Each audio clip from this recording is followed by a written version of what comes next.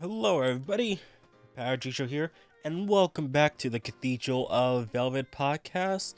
Oh, another two weeks has come and gone, and we are just getting more and more news on on a whole bunch of games. So, uh, yeah. Oh, hope you guys are doing well. I am doing all right. Uh, like the past like couple weeks have been uh, a bit weird. Like, not, not gonna lie, like um I had to get my phone repaired, for, for example. Uh, like, well, it's not my main phone. It's like my secondary phone that that has like a bunch of like apps and and games that I play that's not on um that's not on my main phone. And out of the blue, like it just like stops charging, or it was like very difficult to charge. So I went over to like a a repair shop that a friend which is a company that my friend works at. So I just like went over there, just like, yeah, can I get this repaired? I'm like, okay, sure. It's gonna be a couple of days because they have to, you know, mail it in, and you know, do that. So I had them repair the charging port as well as the battery, cause, uh, cause, um, because the the battery was draining fast, and like the main reason was like the um, like I was playing um game called Kingdom Hearts uh, Dark Road, and it was they had like an AFK mode portion of the game where it's like, oh yep, just leave the game running and uh, yep, you'll you'll gain points or whatever. So it's just like, okay, I'll leave it on overnight, and then you know by the time I wake up, it's like, oh no, the battery died. I lost some some progress. So it's just like. Well, I'll just leave it plugged in during the entire time. It's just like, oh no, that's a bad idea. because now it's just like it's continuously playing and you know the batteries you know it wants to go down but it's not so it's just like it just ruined the battery so just like yeah let's just uh, change the battery along with that too. So got that repaired but as soon as I got it back, I saw that the screen was messed up. Like there was like some light blotches going on over there and they initially said like I heard from like the back and like, oh, this must have been water damage or something like that. I was like, no, no, there wasn't any water damage. I've used my, my none, like none of my consoles or phones or anything has ever gone water damage at all. So just like, no, it's not water damage. It like I literally brought to you guys.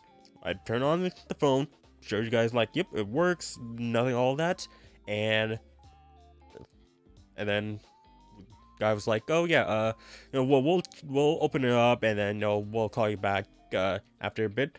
So I left. It was like barely like 20 minutes. I was like almost home, and guys called me up like, "Hey, yeah, so the issue was a technical error on our side, so uh, you you won't be charged for you know the screen repair whatnot. So." Yeah, uh, it's gonna be a couple of days for the uh, screen come in, so you can still use the, you can take back the phone and you'll still use it until you know the new uh, screen comes in. So it's like, all right. So it was just a couple of days. Uh, I was waiting for like you know a call back. I didn't hear anything, so I was just like, okay. They said it was gonna be like about a couple of days after like five days. Like I went over back to the place and like I was like, hey, uh, is the screen here? Because I didn't get a call back. Like he was like, yeah, yeah, sure. Uh, yeah, it's here. Uh, we can, you know, uh, take take your phone in. It'll be a couple of hours. I'll come back to pick it up. So I did. Came back, and it was like, and I came back. And he's like, oh yeah. So it turns out that the part that we got wasn't matching your phone. So it's gonna be another couple of days for the screen to come in. Like, uh, okay, another couple of days with a messed up screen. Okay. So come back. A couple of days. They've uh they got the new screen. And uh yep, put it in fine. And then when I took it, I, I haven't left the store store yet, so uh uh looked at it like okay it's good good i did and i looked i pulled down the screen i'll see like you know the pull drop down menu was like oh there's like a huge line right there, like on like the right side of the screen. It's just like, hey, buddy, uh, excuse me, um, there's a huge line on screen, and he's like, oh, uh, didn't see that there. Uh, let me just check the notes. It's like, oh, yep, uh, one of our, you know, uh, fixers like put a note that, oh, there's uh, uh, dead pixels on the screen, so we ordered a new one, and uh we it should be here later today and should be installed, you know, before it closes. And this is just today, so yep. So gave them the phone, uh, waited till like about 6:30 or so to pick it up, and yep, now it's all good and new. Wish it didn't take you know three weeks for for it to like to be fully fixed, but hey, now now it is, now it is, and it's good new. Now I just need to get a new screen protector because obviously it's on the other screen, so had to I have to get a new one. But yeah, uh, that that was my that was my uh, troubles for like the past three weeks or so. So yeah, uh, ho- hopefully you guys had a better week than than me. Um, on the main channel, uh, I was able to upload the last uh the the quote unquote last episode of Portable. I'm currently working on um the FES answer right now. It hasn't. I'm just trying to record as much as I can because that game is pretty hard. I haven't really, yeah, I haven't even posted like the first episode of the answer yet. So yeah, please just stay tuned. Just just know that it's gonna be a pretty hard game. yeah, there's gonna be a bunch of grinding that that I'm, that, that I'm having to do, and uh, yeah. Oh, let's see. Oh, yeah, Nintendo Direct happening. You know, got a whole bunch of Mario games. Like, I'm excited for, but am I gonna pick it up? Uh, that that that's gonna be a, uh, another thing that, you know, like, am I gonna pick it up? Am I not? Like, I think like both uh, Persona 5T and it's either Wonder or Super Mario RPG comes out on the same day as as P5T. So just like, oh man, why, why, why, why is this happening? Uh. I'm gonna have, and also uh, like um like Dragon Gaiden happening on the same day too. No, no, it, it's happening a week before. It's happening a week before, I believe. So it's just like three games coming out like within a week of each other. It's just like, oh, what what do I do? Like most likely, no, I'm not. I'm not gonna pick up uh, Gaiden because it's most likely digital only. So yeah, I'm pro probably not gonna be doing that. But uh, P5T most likely and mm, not, not really sure about the Mario. Just because, and also November is a horrible time because a whole bunch of birthdays happening in November, and then next month is Christmas. Just, ah, too too too many stuffs happening in November, December. So yeah, just that's why I kind of hate though those months. just like too too many things to buy, and I I, I want to save some money. But uh, yeah, that's that's what's been happening around me. Uh, so I really hope you guys doing well. And uh, if you guys haven't, please uh, don't forget to subscribe to the YouTube channel because any support to the channel is very great. And if you guys are on, you know, want to just listen to it, it's also available on Spotify, Apple Podcasts, and Google Podcasts. Those are basically the top three platforms that will accept uh, accept my my uh podcasts. I'm gonna try to see if any other podcasts will be able to, you know, like uh, get this, but uh, at the time being, just those three. So yeah, so let us get started to the uh, news. We got a whole bunch of news today. Uh, got a leak, we got rumor happening, so and uh, a couple of interviews. So yeah, let's just get into it. This episode of the Cathedral of Velvet podcast is sponsored by Dubby. W is a clean energy drink that's made to give you focus with no crash, jitters, or inks like other energy drinks. There's also no filters or artificial dyes. Dubby contains vitamins like B3, B6, C, amino acids, and 150 milligrams of caffeine. Dubby allows you to have faster reaction times paired with laser sharp focus. They have a variety of tubs, shakers, accessories to choose from. If you want to start winning more, they made this for you. Go to the first link in the description below and use code PowerJ at checkout to save 10% on your order. That's PowerJ at checkout to save 10% on your order. Thank you for Dubby for sponsoring this episode. Now back to the show. And just to remind you guys, we are on uh, Persona Central, so please check those guys out. I'll leave all you know the links of their articles in the description below. So yes, again, please check them out. You know they they they, they get those uh, information quick as as soon as they can. So let's start off with uh, some SMT5 news or rumors. So the first up is SMT5 Complete Edition teased by notable leaker. Hmm. Okay, so SMT5 probably probably getting ports.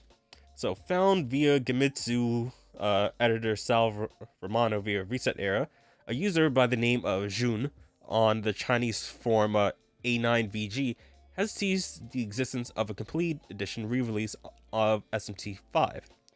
Okay, they teased the existence of the game through a quick-bit animated GIF featuring an image from the SMT Online 2021 recent music concert, edited with the uh, SMT 5 world map, occasionally flashing the, world, the word complete edition in the style SMT1. Uh, Jun is known uh, for teasing upcoming. Oh, make sure you guys see this. Uh, Jun is known for teasing upcoming announcements in the style, and has previously correctly teased the date of when Armored Core trailer would be released, the title of Crisis Core Final Fantasy VII Reunion, and among a number of other things yeah, if guys aren't like really seeing this well, I pulled up the uh the ResetEra uh, link. So it goes from this and then it goes to this. So basically saying uh like complete edition, complete edition, complete edition. And that's the map of SMT5. And this is like the uh of the the text. And apparently uh you can see also right here uh, Stephen Hawking is there, which is a, a character in SMT is looks similar to Stephen, and I believe is also named Stephen as well. So, uh, yeah, to the left of the GIF image, you see Stephen Hawking. The SMT uh, series features a wheelchair-bound uh, recurring character named Stephen, who notably did not appear in SMT 5. And the image itself is directly from the SMT 2021 concert. Yep. So, maybe this SMT5 may uh, complete edition may have some like you know new content perhaps. But um, let's just continue on with the article. In 2021, SMT5 was part of Elite NVIDIA GeForce Now database. Uh, now, uh, NVIDIA's PC streaming service, which contains a large number of unannounced games at the time. Also listed from Atlus was Catherine Fullbody, which is yet to receive a PC port. Uh, data mines of SMT5 at launch also found reference to a PlayStation 4 and PC platforms. Uh, so with upcoming events, Atlus is also currently celebrating the 30th anniversary of the SMT series, which which is to include an upcoming concert at Anime Expo on July 1st. Atlus is stressed, however, that there will be no announcements at this event. Okay, so no announcements at this event. However, like uh, I believe um like there was an article that we saw earlier that was like uh well I think that's probably related to the persona news that we're gonna uh see soon I believe. Let me just uh yep. Uh but uh I mean they could they could be lying. They could be lying just like yep there there's no announcements at this event. But uh, as we you know remember last time you know with uh Persona 25th anniversary, just like that announcement of, uh, you know, the ports as the last thing, just like, yep, that that that, that was horrible. That that sucked. Really wish that wasn't a thing, but uh, yeah, um, it, it could it could happen. It could happen. Uh, cause like this is like again, this is like uh, the first time uh uh, we're having uh, an SMT concert outside of Japan. So this this could be a big thing, but who knows? We we we have no idea. Jun is, you know, seems like a credible uh, leaker, so it could happen. It could absolutely happen. So, but continue on with the SMT news. Uh, we got a 30th anniversary concert paid stream, but for Japan only. So on May fifth and the sixth, uh, 30th anniversary concert for SMT series was held at the KT Zepp Yokohama. A paid live stream of the recordings of the two concerts has now been announced and to be broadcast on the 30th. So, uh, yeah, so it was just a re rebroadcasting of um, a previous concert.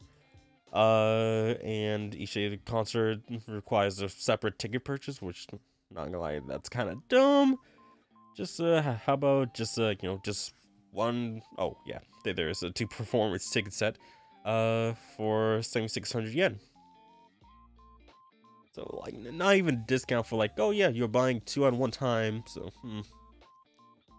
So, yeah, you're, where we're getting just, uh, rebroadcast of the concert that happened. And oh look, cool digital ticket. I mean, that that's all right, but just, uh, we wish it was um, wish it was something a bit better. Uh, just, I'm just making sure that you know, just anything else is happening. But uh, yeah, sucks that uh, uh, well, I'm not sure if this I because I just loaded this up. Like I had this trail.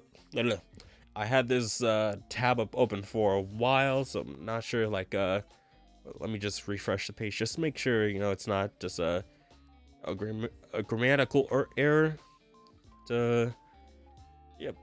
Uh, yeah. we're already past the the the purchase days, like uh June 23rd. So now the viewing is from June 30th which is in a couple days from now, or probably tomorrow at the time that you're seeing this. I'm pretty sure it's uh just a couple days after this. But uh yeah, uh so you guys want to watch the recordings of the the concert? Yep, there you go. Kind of wish you know we, we had something you know a bit more to you know to uh to to see, but uh unfortunately not. So continuing on, we're done with the SMT5 news. We're going on to Metaphor.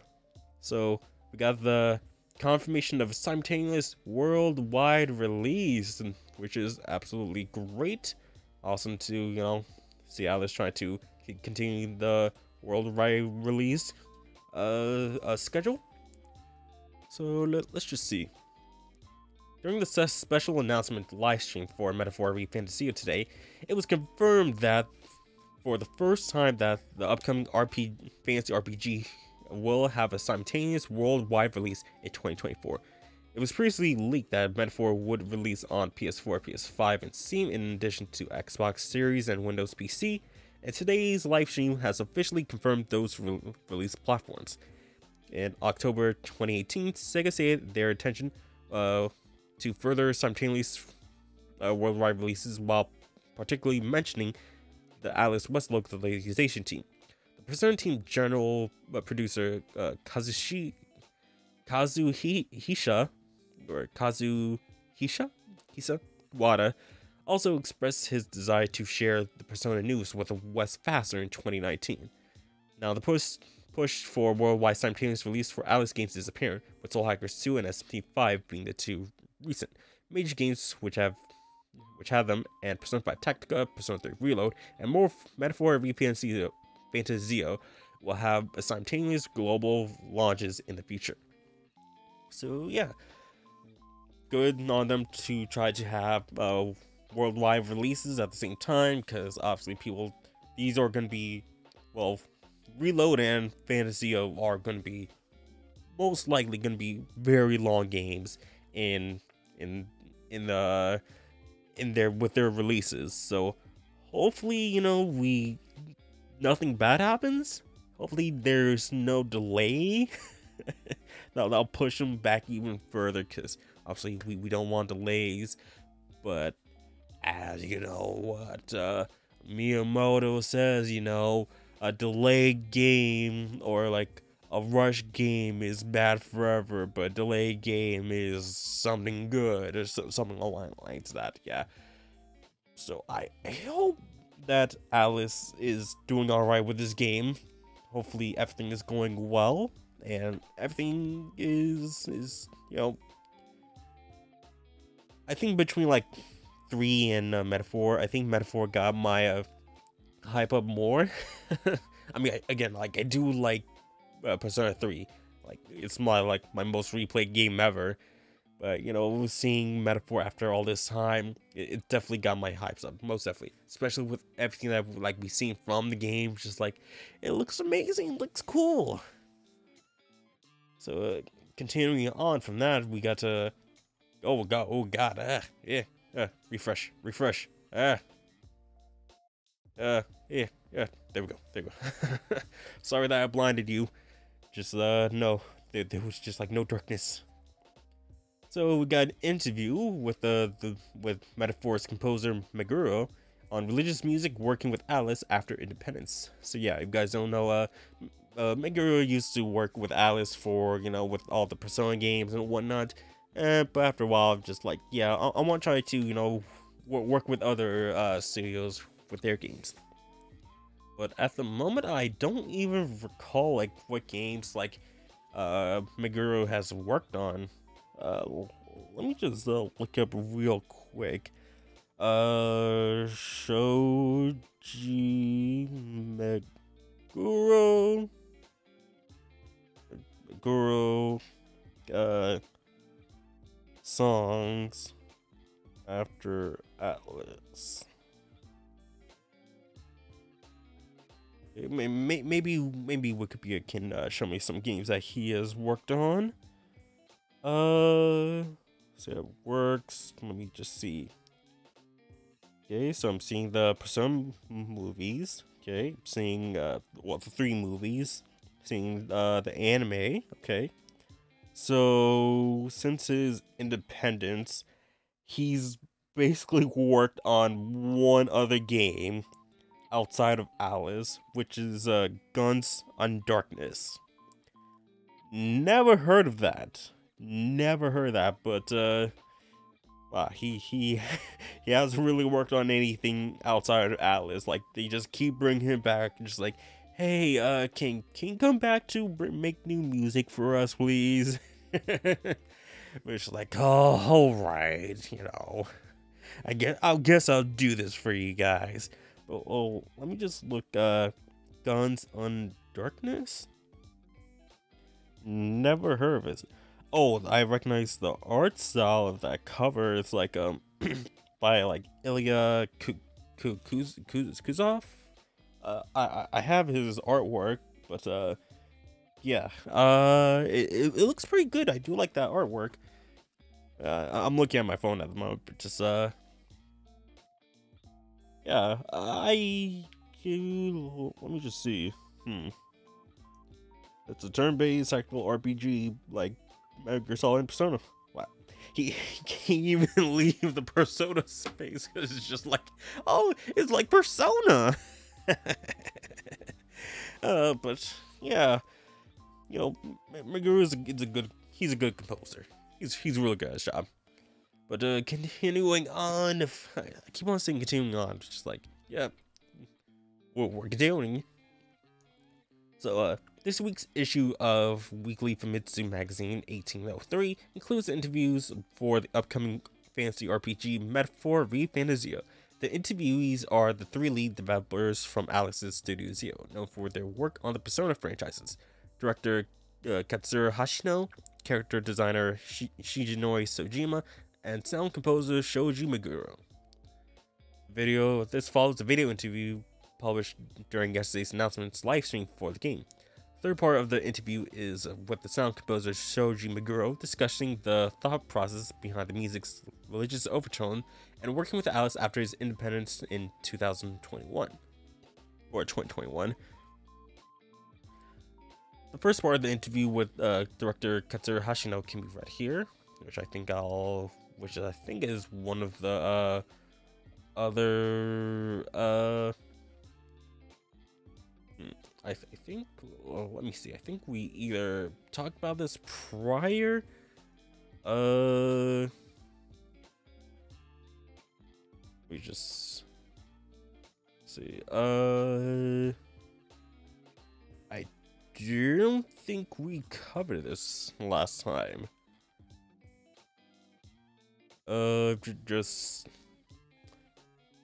Yeah, yeah. I, I I don't think we would cover that. So so we'll cover that bit after this, and let me just check out uh Soejima.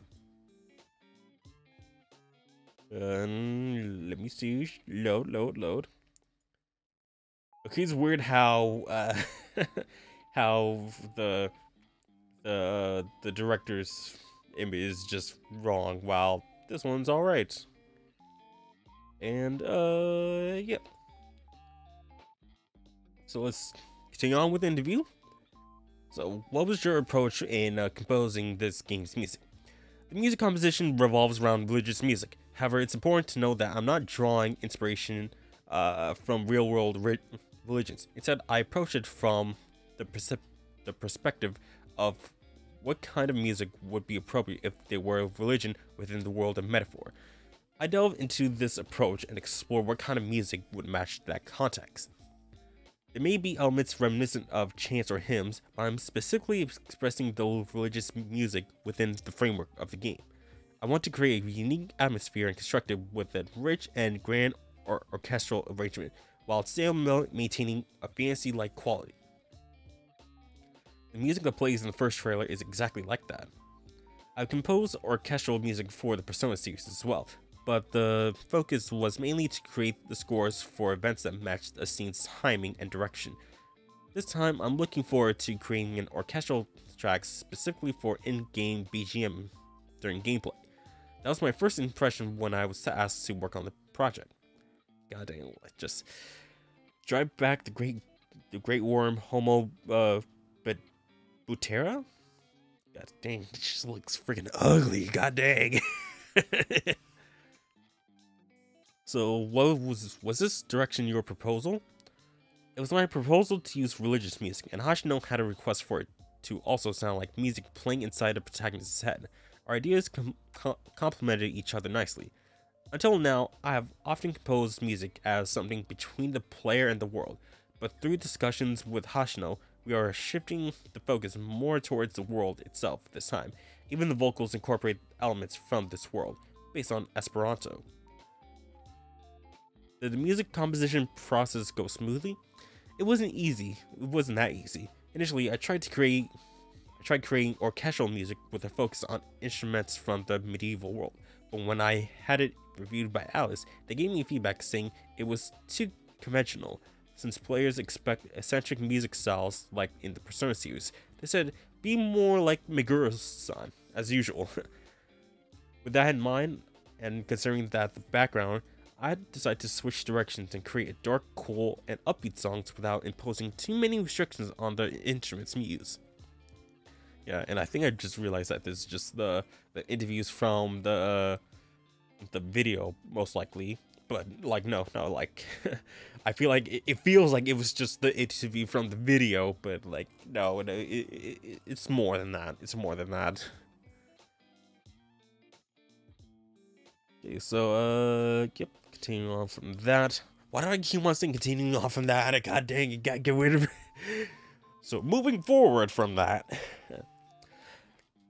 I see hearing that story certainly raises expectations. There have been times where when I've where I've got too carried away, and some tracks ended up feeling like battle music instead of background music for a town. I still actively adjusting them. I'm I'm looking forward to it. By the way, since your independence in 2021, it's been a while since you were interviewed as a composer involved with Atlus. Have there been any changes in your approach to work or in, in way of thinking? My relationship with Atlus has shifted from being a company employee to a position where I respond to the client's requests. However, I've always believed that it's important to express the development team's vision of the world through music, so in that sense, not much has changed.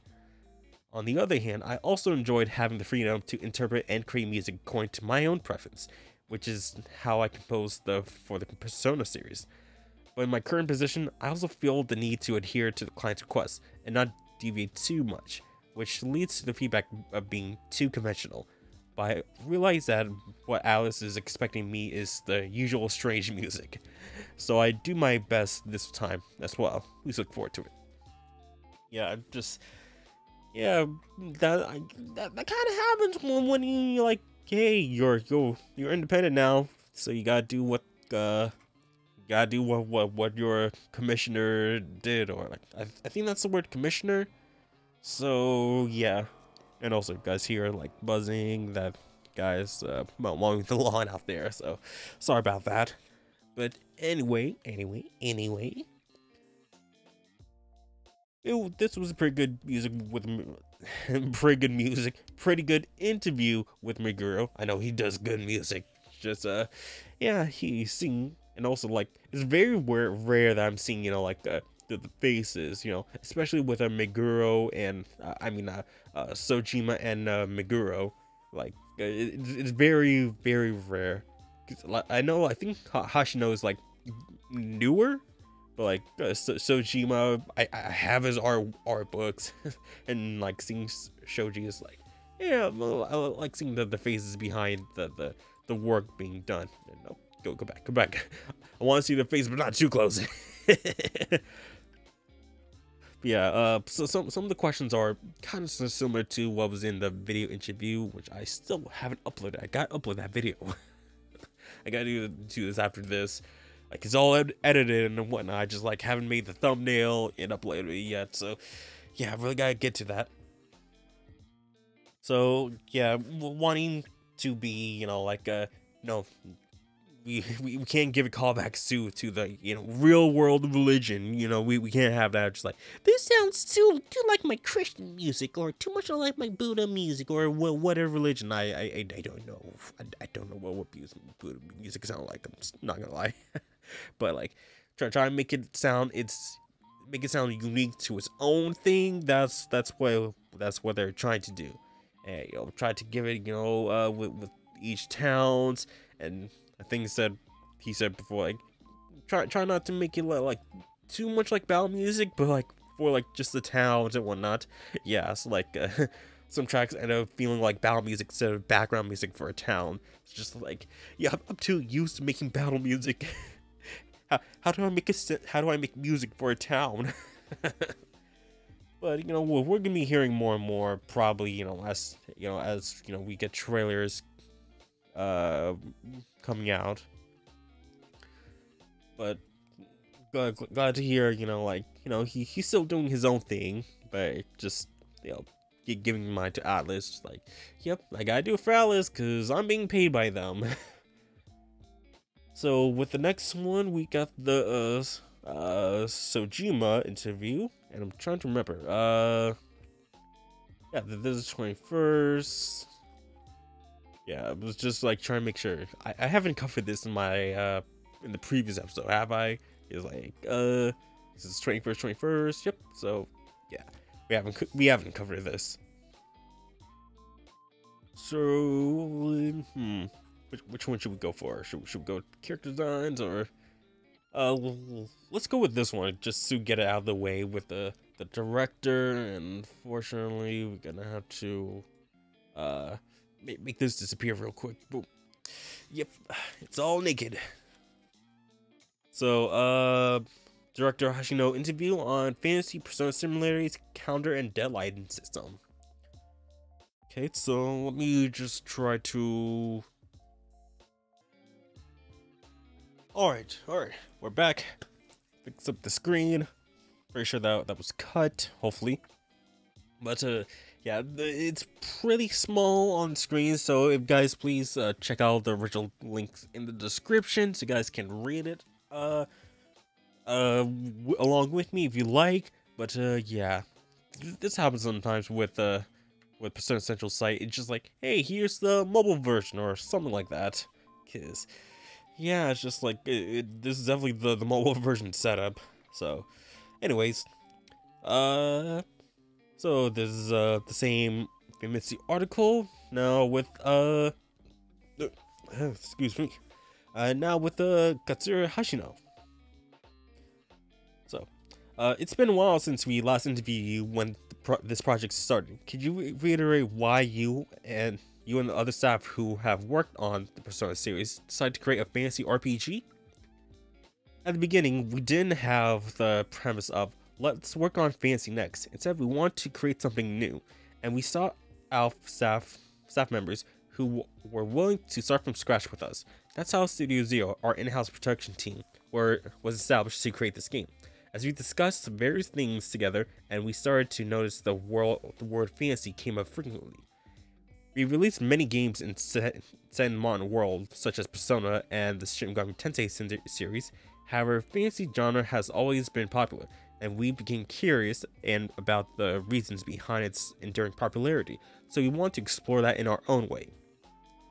Previous interview, you said you stated if we were to think about the unique experiences and emotions that we aim for in our previous games can only be betrayed in the world of fantasy, then now is the time to take on this challenge. Hashino says, yes, one of the themes, uh, one of the themes is the keyword utopia, which you see in the revealed footage. People love fantasy world, that they often embody fantasies and ideals that cannot be achieved in the real world. However, for those who live in those worlds, our everyday world may seem as a utopia.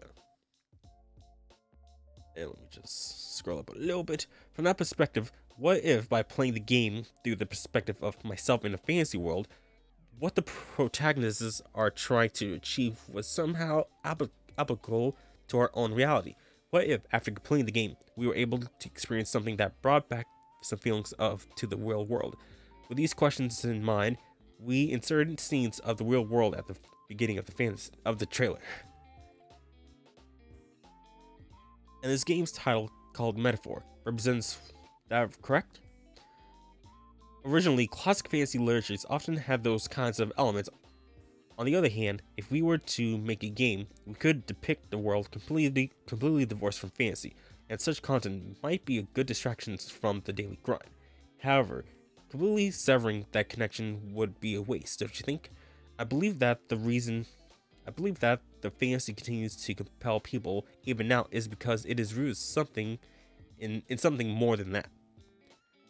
I had the opportunity to, at one point, think, thanks to your generosity, to observe observe a debate among the development team. The topic was what kind of discoveries and emotional moments make people feel like they're on a journey. Oh, oh uh, beta. Uh, mosquito or something. It was a bug. Eh. Let me just turn on this light because I can probably see it and just smack it away. Uh, if the style of the Persona series typically involves traveling from one central hub to various places, is Metaphor more about traveling from one place to another? That's right, as the protagonist travels around the world, he meets people who support him and become a, a source of emotional strength. They don't they won't follow him on his journey unless they are party members, but bonds formed through various events along the way will always remain with him. Uh, we thought that if players could experience, uh, yep, that's definitely a moth. It's definitely attracted by the light. I think I got him. I saw something fell. Probably fell somewhere on the ground. Caught on camera. Power Slap the bug. Uh, but but anyways, uh, but the bonds uh, formed through various events along the way uh, will always remain with them. We thought that if players could experience this kind of feeling, even though the structures may be different from the Persona series, we would be able to we would be able to create a game that's uniquely their own. I mean, this is like the the, the bond system and like social link that that's like the kind of similarities that that we're getting here. Because, like, hey, it's being made by the Persona team. Hey, well, why don't we just have, you know, some social links in there too? But we won't call it social links. They're bonds now.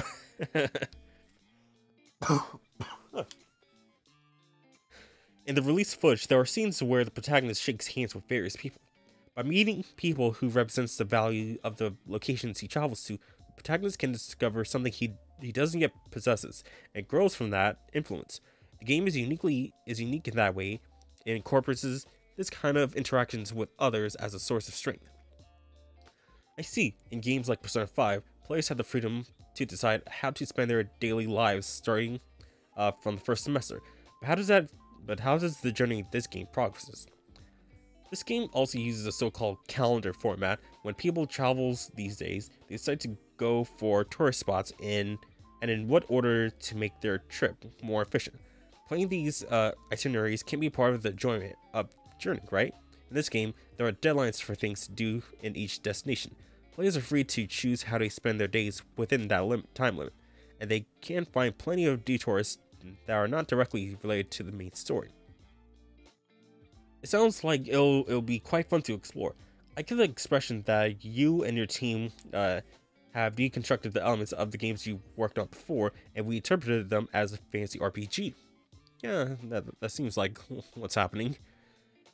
If there was an element that matched the know-how we've taken a long time refining and want to express in this game, we've incorporated it without hesitation.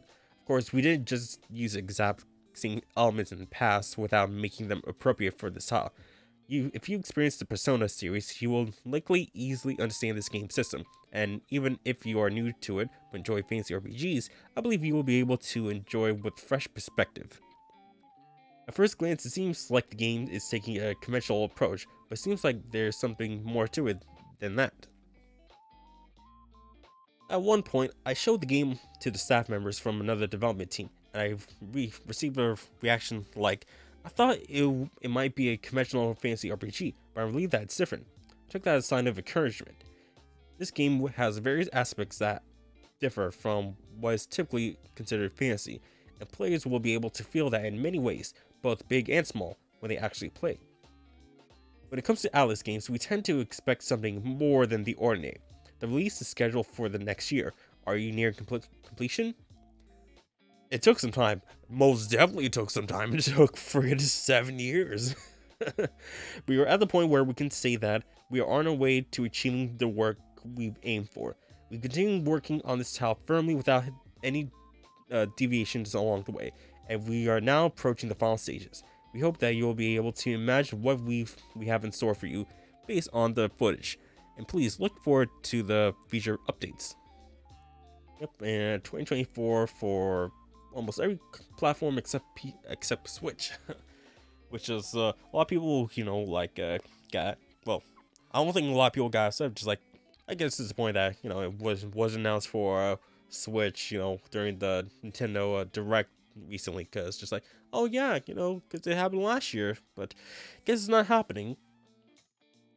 But yeah, I I I, did enjoy you know this this interview seeing uh uh Hashino's uh his thought process and what's been going on uh, with the game. You know, seeing like, oh yeah, using you know some elements from Persona with the Persona series, like the calendar system and the bond, and basically like reinterpreting that for uh, metaphors. Because hey, like we worked on this. How about you know we changed up a bit so it's it's somewhat different than you know what we worked on before. Just like, hey, I made this Change it a little bit. Now I made this. but uh, yeah, uh, the, the calendar system feels like you know maybe this is like more more deadlines compared to like a Persona game, because like it feels like uh like it, with the Persona games they're pretty lax with the with the time limit. It's just like oh yeah you got uh you you got like a like three four months before you know the the next event or the next major event. But um, yeah, it, it hopefully you know this is like more. I, I do kind of want a little bit more strict, I guess. But like not not strict as like oh no you you you only you have every every day counts you cannot miss a day or or or you're screwed not, like that but just uh just like um like I, I guess more focus. I guess more focus is, is, is what I'm I'm trying to aim at. Well, hopefully it's more focused on you know what what we have to do for for each day because is that we're traveling around you know the, the world, so if we have to like use our time most effi- efficiently, so like oh hey let's detour around here that'll save us some time, but by doing that we'll miss you know the couple people that we would have met and that would be you know some kind of improvement. I mean that that could be a thing, but you don't know if that, that that's that that might happen. But I feel but I think like you know the the people that we see on screen are here. They're, they're most likely party members that I, I know him, uh, this little bat rabbit creature thing, and uh, the redhead elf girls are definitely party members. I don't know about uh, uh, these two here and that person back, not, not sure. But uh, we're, we're gonna get get more information soon, but uh, when don't know. But uh, yeah, glad glad to to uh, glad to hear uh, the director's thoughts about all of this. Glad that we're just getting more information about about the game. Now back to Soejima. Uh, let me just uh fix shoulder stuff. Uh, do that and uh do, do, do, do that and uh boom. there we go much better so now Soji was interview on the initial concept art and the protagonist's design Ooh. and uh if there is a cut in between this don't worry because i'm just trying to make some food yeah i'm just uh but but anyways so, again, another interview from Famitsu. Now we're talking with the character designer uh, Shigenori Soejima. So, uh, the second part of the interview, we basically went backwards, just like, oh, we, we got the composer, I think that was third, the the director, which was first, and this is the second part. yeah, it's basically right here. uh, but, uh, with the interview, it has been a while since you've last worked on character design for a fantasy themed project, last being uh, Stella Do It, uh, Deus in 2004. Holy cow. Dang. Dang, that, that's almost, that's almost 20 years ago. Holy cow. what was your enthusiasm for this project? In my childhood and early days, works like Record of Lodoss War and Dungeons Dragons were popular, even uh, before becoming professional. I often drew fancy styles illustrations. I was very excited that Metaphor gave me with a ch- gave me. I was very excited that Metaphor gave me with a chance to uh, draw the subject matter for work after a long time. However, as work released under Atlus, I was prepared for it to not only be enjoyable but also be challenging. There's no point in drawing something that looks like existing work, I want to emphasize the design's and core concepts that can be made specifically because of this game. I also want to incorporate my favorite fantasy elements, so I drew various things uh, uh, wholeheartedly. When the project was first announced, many concept illustrations drawn by drawn by you were also released to the public. Oh, early concept art right here. Those illustrations were partly to see what it would look like if I were to to depict fantasy at the time. This game embodies the themes mentioned by Hashino, but instead of keeping that in mind from the beginning, I want to first, first ignite the, passion for classic fantasy within itself. At the time, the main character's age in relation to the game's themes was not yet determined, but looking back, I believe I that even within those images, I presented characters who bear glimpses of the characters you see now. So this is the uh, one of the concept art from very many years ago. But uh, yeah, the elf girl here, like the design changed so much. I'm not gonna lie. Like elf girl from from uh, the initial reveal of Project Fantasy to now looks very different. Like and like even like I know I think this is like what water art, water brush art, something like that.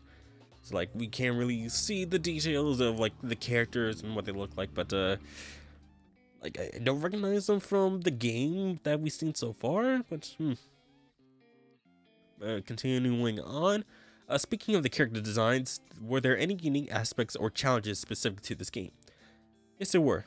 Uh, for example, I believe that in order to create designs with depths, it's important to consider the background details, such as level of civilization and industrial industrial development in the world the extent of sewing techniques, and even the existence of screw technology, etc., each part of the character's equipment, down to the smallest detail, contributes to the overall world building. The first trailer depicts large vehicles as the game's as the game's development progress, more elements that invoke advanced technologies were added one by one. This led to an increasing number of considerations on the character side as well. Unlike the Persona series, which draws inspiration from modern society, this game has its own unique fantasy world. It involves many uh, processes specific to this game, which are both enjoyable and challenging. Yeah, like uh, in the interview, I believe, like in the video interview, like it was said that uh, Soejima was inspired by like 60s uh, design for like a lot of the characters, like like even like the main character and like a girl in like black and red. I think we can see no. Uh, let me see if we can find that girl. I think I think it was in this one.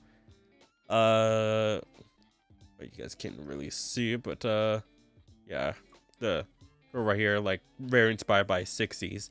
Uh, not sure about him, but um, well, you guys can see. Not sure about him, but maybe, maybe.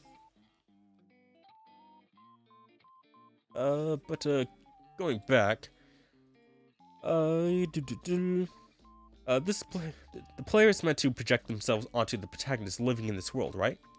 While there is a player equals protagonist dynamic, the protagonist isn't simply a blank slate. I design him as an androgynous young man with a gentle yet intriguing aura, possessing with a strong gaze. Uh, in the case of Fantasy Project, if the player is already fully immersed in that world from the beginning, players may find it difficult to see the world from the same perspective. Interpreting the world in their own way is part of the charm of fantasy. In the context, the protagonist is a pure being, while the supporting characters are all unique in the cast that adds color to the story. I think I said this in a video interview kind of thing on my main channel. Please check that out. But, uh, uh, I don't see the androgynous vibe from this. Not gonna lie, but uh, okay. It's uh, seeing uh, e each character ha having their own add the, the individual characters adding you know color to the story. Like, yeah, I mean that that's what's like each characters are kind of supposed to be. Like, uh, like Take Persona for example. Persona 5 on is red, Ryuji is yellow, Yusuke is like navy blue, dark blue. Uh, I I guess like Makoto is like kind of uh oh I, I well either Yusuke is white or blue. Uh okay, now, now that's just a little bit difficult because the colors just like there's multiple colors with their you know color, color scheme but like uh, Haru being like sort of like purplish pur purplish pink. Uh, Morgana, I guess green, but I guess more with his helmet. Like, guess black with a mix of white and yada yada. So, yeah, that, that that's that's what I'm kind of going with. So, yeah, each character having their own colors. Yeah. The little fairy girl who is with the protagonist's side gives off a somewhat familiar modern vibe. Was she? that was a deliberate choice. While in the Persona series, the main characters have a more of a real-life likeness in this in this game, the protagonist is is portrayed with a more heroic portrayal throughout the story. On the other hand, the fairy girl's action and behavior may give off a sense of belonging to modern society. I believe that her presence also contributes to the story, to the development of the story and the character conveying, the characters conveying this game's themes. Now again, I, I I don't get the, the, the modern vibe from her. I'm I'm guessing like it's uh, like the the haircut from from her or something like that. You can like barely see it on screen there, but uh, yeah, I I I don't feel that like I'm getting like I feel like she's more like oh, is she? She's another Pixie character like uh like in SMT3. Hey, hi Pixie, or just at least a callback to her. Uh, with the last paragraph of this interview, uh, that's interesting. While we have to wait way further, uh, while we have to wait for further updates to learn more about the other characters, could you give us a little hint about them? Uh, one thing I can say is that the various races that appear in this game will be important, so I hope you'll pay attention to them. Instead of assembling uh, the typical races you've seen in fantasy, we've depicted races that exist particularly in this game's world, each with their own unique backgrounds and origins. Some of them are quite unique and present as races, but it was also a challenge to incorporate them as individual characters, so please look forward to encountering these distinct characters. So, uh, I'm guessing like there is they're doing like their own take on like you know the fantasy characters, elves, goblins, uh, orcs, probably just like you know their own like their own interpretations of, of like the fantasy characters that you know we've usually seen like in other filmed games, media, and whatnot. So that that's probably what what they're planning to do, because like like because like elves looks somewhat different. Uh, like we have a Triclops. I, I guess that's a you know another race. Uh, fairy. I like again. I don't know what that animal thing from uh from the trailer is. What the trailer is is, but is definitely different. It is definitely a different character that I I have I personally haven't seen. So yeah, oh, great, great to you know read read on the interviews from like you know the big three of Atlus essentially. Uh, you know, uh, Hashino, uh, Soejima, and Meguro. All, all nice to hear. You know, the, all their uh, thoughts and you know, and uh, what, what's going on behind the scenes of the game. And we are excited for for this game to come out. I'm I'm very excited to you know see you know, what's what what's this game been you know cooking for like the past seven like almost eight years like by the time the game releases. So that'd be really awesome to to see. So now we are going into the persona news. Uh let's go into uh well this is like the most general since we're talking about both games we're gonna be seeing ah ah ah too bright too bright reload reload. And just in case i'm just gonna reload like the other tabs as well. Just in case because like i literally just like okay load them up pull all the tabs out and, and not even look at them all right so now we have the Atlus to hold Persona 5 Tactica and reload panels at Anime Expos with the English voice cast. So yeah, uh, talked about the last episode of, you know, P3 had a full re- English cast read change, so I'm not sure, and I haven't even read this yet, so uh, I'm not sure if like those casts gonna be in there. But I believe I think I saw a tweet saying that uh, the P5 uh, some of the P5 cast is going to be there. So uh, let's just re- read this and just see, see what's about. So, following the following list, the two Atlus panels at on uh, Anime Expo's 2023 schedule, quickly teasing upcoming announcements. The description has been updated with the full details of the two panels. Uh, yeah, I think I probably this is from the 14th. Oh, hold on, hold on. I think I'm I probably I think I probably covered this because uh it's it's been two weeks, not gonna lie. Uh Actually no, no, I I haven't covered this because like I've recorded this the last episode on on the 12th, so yeah. This is this is technically new news. This is technically new news to to the channel. uh but I think what I covered was like a, a leak of it. So, uh, yeah. The morning panel will focus on Persona 5 Tactica, and the afternoon panel will focus on Persona 3 Reload. So, Atlus presents the official P5T panel, uh, July 3rd, from 10 to 10.50, so 15 minutes or so, at the Petree Hall. Atlus West will be presenting their exciting new video game, Persona 5 Tactica, join the English voice actors as they talk about their experiences behind the scenes and swing by to grab exclusive P5T poster. And now with the reload panel from 7 to 7.50, get ready for an evening of excitement with the Atlus West as we bring you the latest and greatest on Persona 3 Reload. Join our special guests as they take you behind the scenes and into the recording booth. Dive into the dark hour and awaken uh, the depths of your heart with Persona 3 Reload, captivating re-imaging of the genre-defining RPG, reborn for the modern era with cutting-edge graphics and gameplay. Yeah. Okay, so yeah, they're, they're gonna be talking about the game. They're gonna be saying, yeah, this is all the game. This is the detail about this, and they're probably gonna have like a Q and A session like right at the end. I wonder if like someone's gonna say, hey, um, well, why was there a recast for Persona Three? You know, could could you guys, you know, just bring bring in some of the cast? They might. Someone's gonna ask. I feel like someone's gonna ask that. I mean, they might, because I feel like you know, some people, you know, want, want some answers about that. But who knows? Uh, I don't want to see like like the comments down here. uh, hopefully the next trailer will, show a little bit of English dubs. Yeah. Uh, mm, yeah, yeah. I'm surprised by the cast. Yeah, Yuri. Yeah, people have thoughts about the game. Uh, but after this, we got a, a little bit of a leak regarding Persona 5 Tactica. Which is, uh, which is, um, I, I, I, I, guess this is, like, kind of big. So, Persona 5 Tactica story DLC to feature Kasumi and Akechi. Which, oh, day one DLC, I hate it. I hate especially story DLC.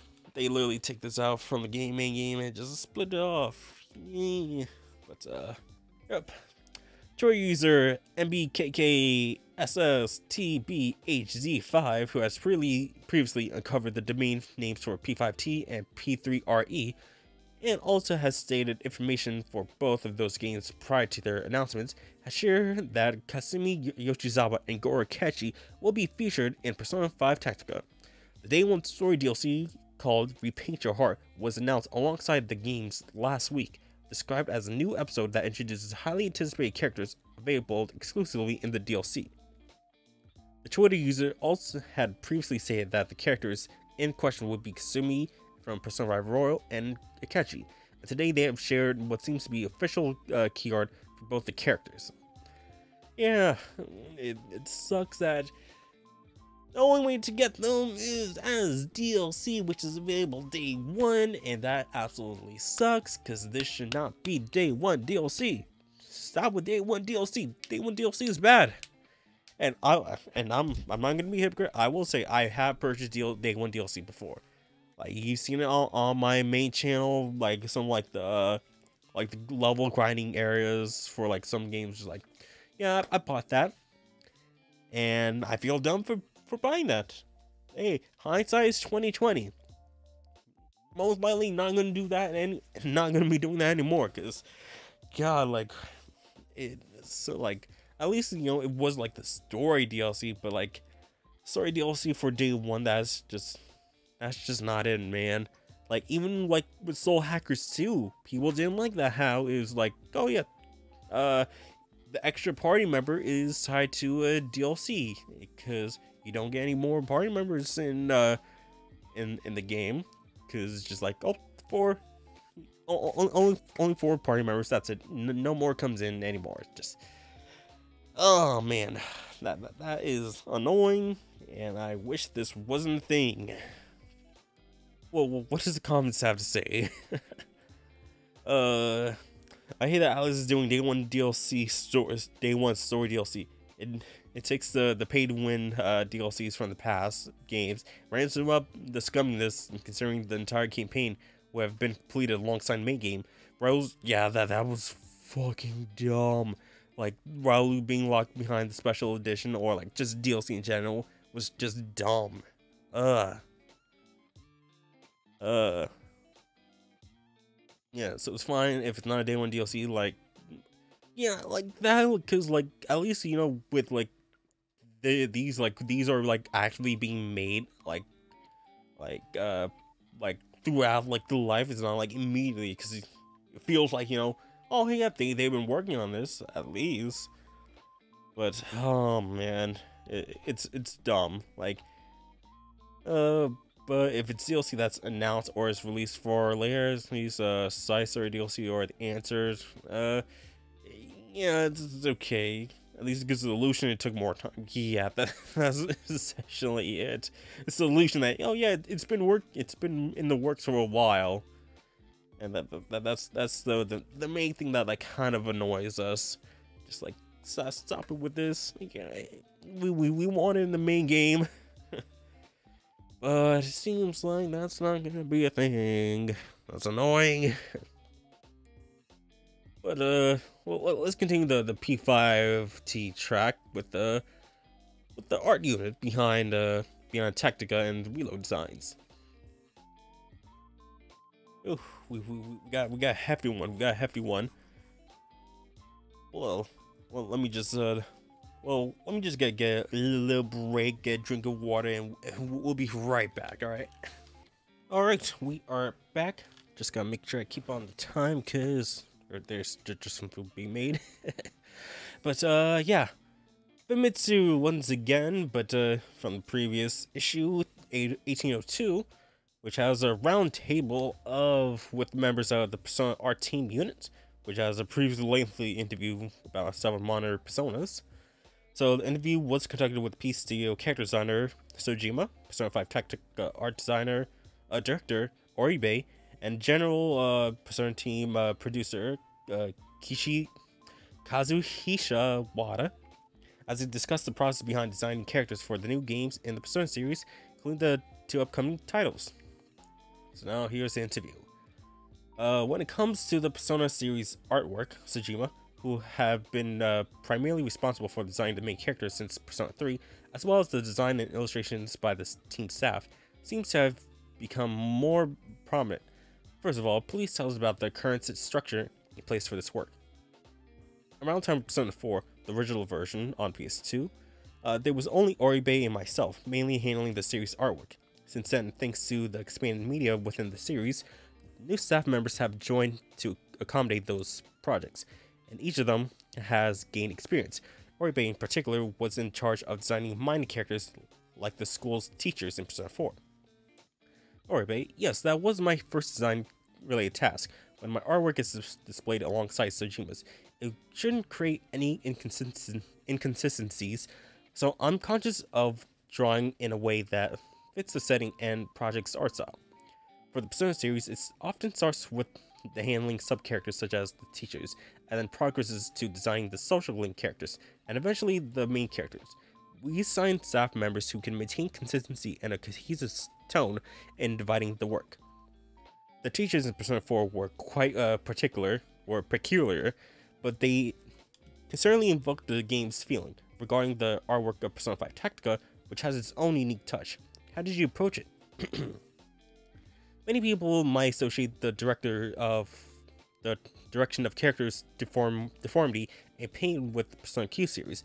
However, this is not the sequel within the Persona Q series, and the game genre is also different, so we aim for artwork that would be most fitting for this game. Over the course of seven years of since the release of Persona 5, a lot of expanded media and spin-off have been created. If we were to work on a new game, we want it to be a challenge, one in terms of both content and visuals. I believe that was shared that was a shared mindset within the entire development team, not just for me. Uh, Dr. Uh, Maeda also mentioned in an interview that the characters in this game move intensely during battle. So, is artwork meant to showcase that? Yes, in Persona Q, the silhouettes were round with small hands and feet, a chibi style familiar to Japanese people. However, the 3D models in Persona 5 Tactica intentionally have increased proportions, emphasizing the size of the hands and feet.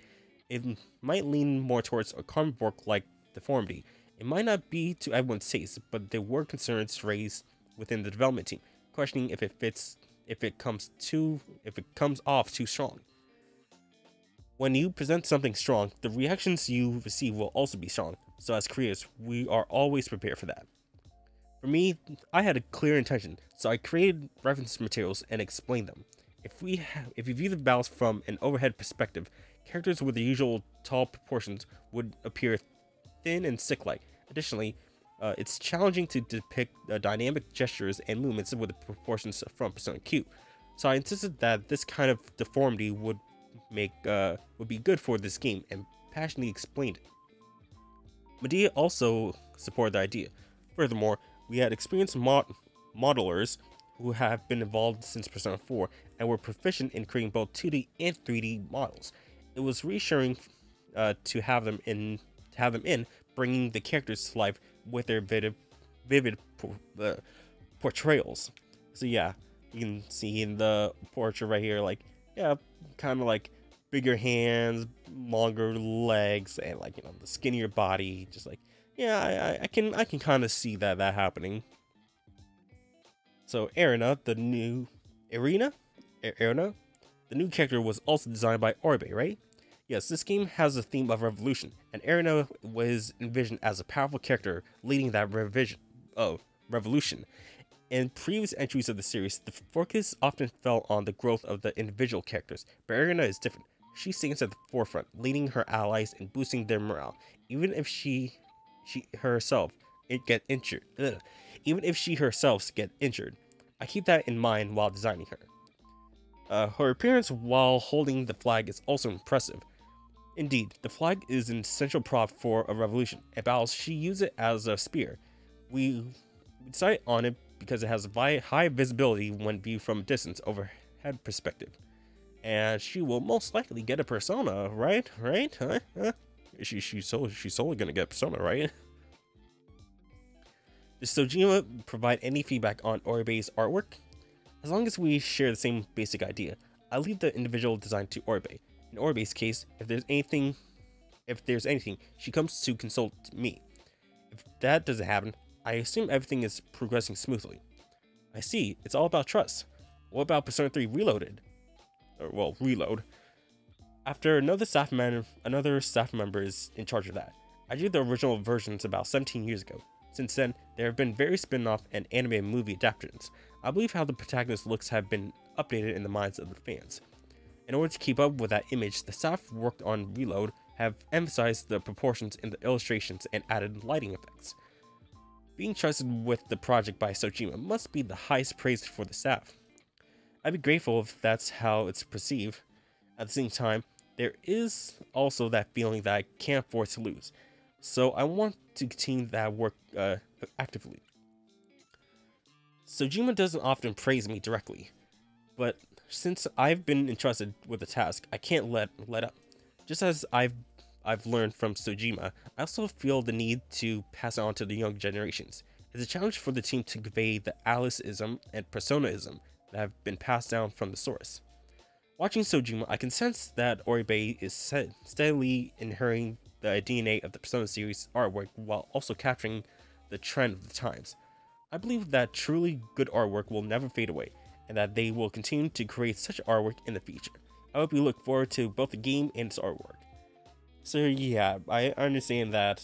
Uh, you know, you're going with the tactical style. There's going to be various, you know, uh, uh, camera angles to the game. So you want to have, uh, you, you want to have the characters stand out so that you know they they appear fine, you know, at at any angle, and they they're able to stand out. Like Morgana's kind of like the same, basically, just like a little bit more bigger hands, I guess, or just like the well, the face is like fairly different. Just uh, well, more more. Well, they, they say before like more more chibi-ish style, but but not more but not leaning into like Q.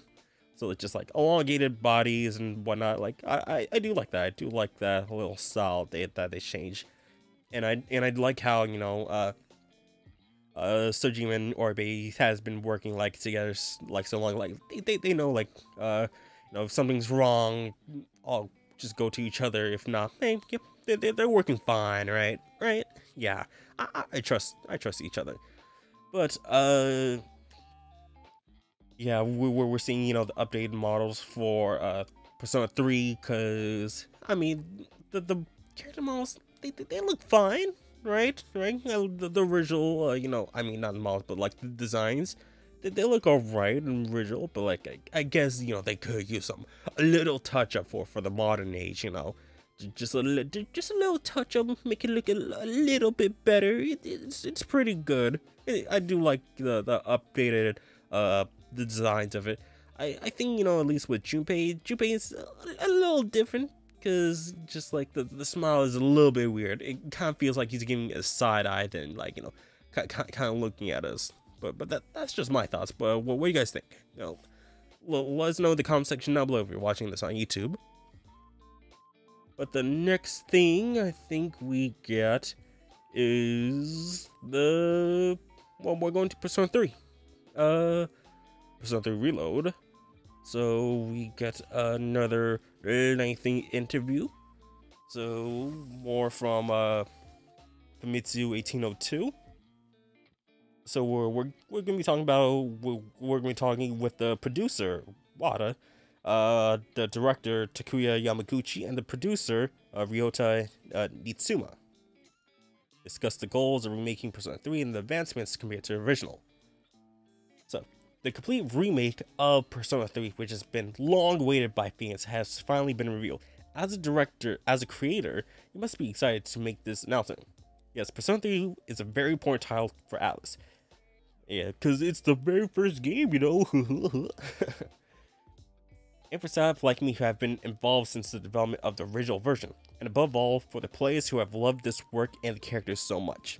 The Atlus survey we conduct each year, Persona 3 has been at the very top of the list for titles that fans want to see remade for the past few years. This remake has been realized because of everyone's support. so yeah, people say that say that oh man the Atlus service doesn't mean anything, It's just it's dumb or anything like they take and they take the surveys and they make the games. You guys should do the surveys, you know.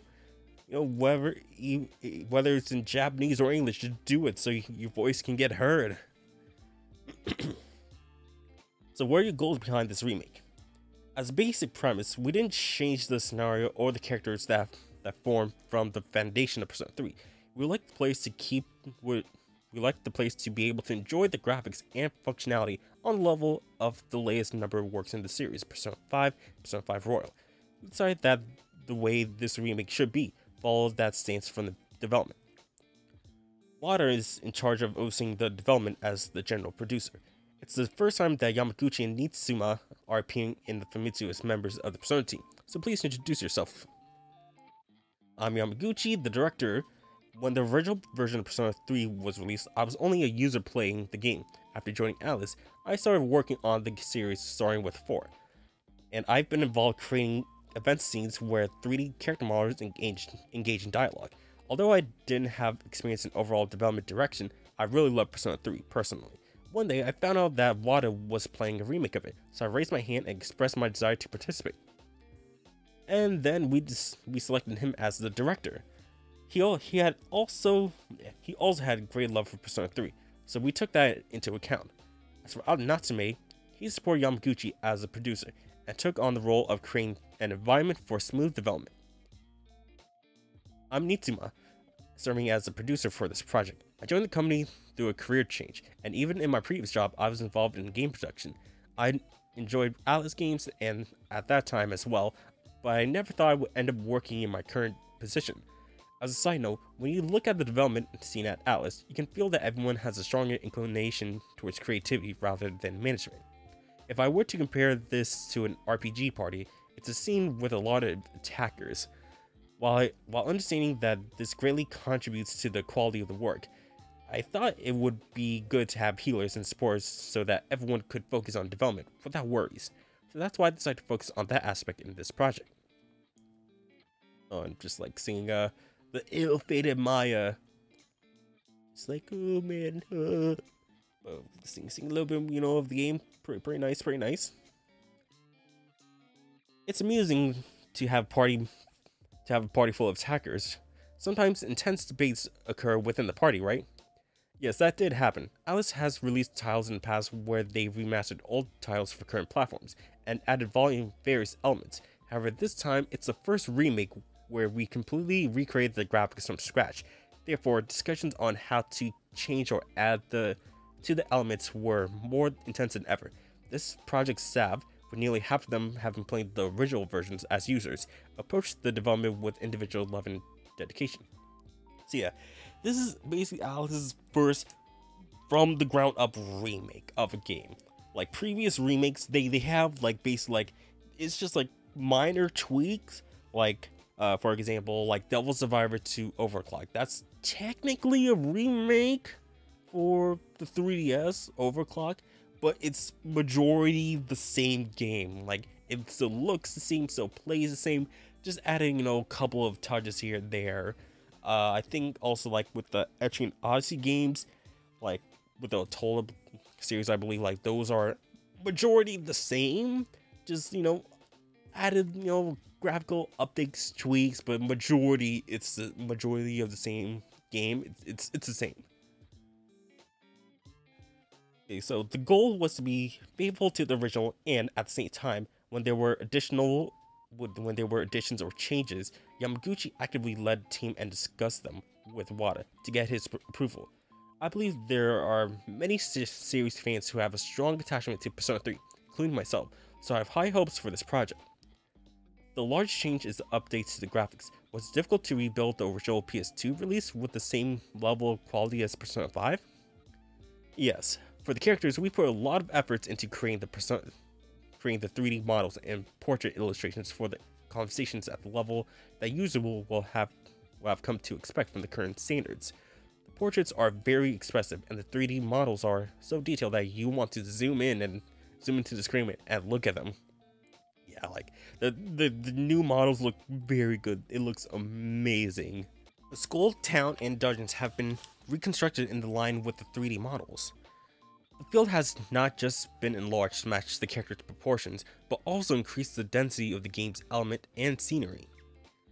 Everything has been redesigned, but Tartarus, the central dungeon that the main character's progress through, through to reach the top, has undergone a particularly significant change in appearance. In addition to changing the visuals, we have added more elements for the players to explore to keep them from getting bored and having added and have added the option to dash while moving okay, so adding dashing around movement, uh, it's, it's it's it's yes, it's a good thing to have, but like as like a feature, just like as noble features, like, yeah, okay. but yes, make sure that that Tartarus isn't boring because it is a very boring place. Just like, yep, going up. Design looks very similar to the previous floor. Nothing's really changed, and just oh, next floor is just a redesign. Just, just not, not much has changed basically. But glad, glad you know it, it's getting you know some kind of overhaul to to to the game. Uh, regarding the scenario, it's been said that the characters' side stories will be added. Can you elaborate on that? Since the main story is an ensemble drama, I thought that there was still room to delve deeper into the stories of the characters who didn't get much attention in the original versions. It will be a new element that is different from the social links that will deepen the relationship with specific characters. Speaking of the main characters, uh, speaking of the main story of Persona 3, there were also works called Persona 3 FES, which was based on the original release with various additions and changes, and Persona 3 Portable, where you can select the female protagonist. How will Reload be positioned in relations to these. Uh, I'd like to clear things up so there are no misunderstandings. Persona 3 Reload is a project that was conceived as a remake of the original Persona 3 for the current platforms. Therefore, it does not include the additional story scenario that was added in FES or the female protagonist from Portable. However, this does not mean that elements added to the main story in FES is, are not included in Reload at all. So yeah, just saying that it's not having the answer basically from FES or the protagonist, but it, it might have like no, uh, I guess as the playable character, not playable character, social link and the Elizabeth dates. The remake has a substantial volume. By including the side stories mentioned earlier, the total number of voice lines is one of the highest in the series history. The reason for the increase in voices is not just limited to the side stories, but we'll be talking about that at a later date. I expect there are many series fans who are attached to Persona 3, as am I, so I have high expectations for the game. Thank you very much. In terms of development progress, we are in the final adjustment stages, and I feel a sense of accomplishment that it will certainly satisfy those who have been waiting for this game for many years. During development, whenever there was a moment of uncertainty, I often try to forget that I work at Atlus and instead put myself in the position of a fan waiting for the remake. Thinking about what would make me happy. The entire staff has worked with this perspective in mind, so please look forward to it. From the planning stages, this project has the keyword rebirth. In other words, it's in it's a game that we have approached as a team, with the concept of deep deepening rather than simply involving Persona 3. I believe we we've we've been able to deliver this in-depth exploration that won't disappoint fans, everyone's expectations. I hope you'll pay attention to it. We have, uh, we, we are very happy to have reached this stage where we can unveil, unveil it to everyone. We have a strong desire to deliver it to you as soon as possible. We hope to those who have picked, who have been waiting for a long time, as well as those who has never played Persona 3, will pick it up and enjoy. Thank you for your continued support. I should turn off this light because I don't need this anymore. There we go. That was hurting my eyes a little bit, but uh, yeah, glad that you know they're very dedicated to you know trying to make this as good as possible. It sucks that you know uh most of the stuff from like portable, including like you know the side uh the social links from uh the female protagonist from portable is not going to be in there, but at least you know I get social link and whatever you know new edition that wasn't uh the answer is you know is being part of this remake. That's that's pretty good. I'm glad they they understand you know the stuff that's gonna is needed for for this remake, and I, I am very excited to just see you know the new models and you know hearing the new performances from the English voice cast as well. Hopefully they do a good job because they have a big shoes to fill in, you know, with with, with this game. So, uh, ho- hopefully you know it, it, it's it's gonna be done good. So the last article we're gonna be going through today, and I know this this is gonna be like a major news focus episode, but uh, yeah, we have oh there- there's an in-depth interview, a very in-depth interview.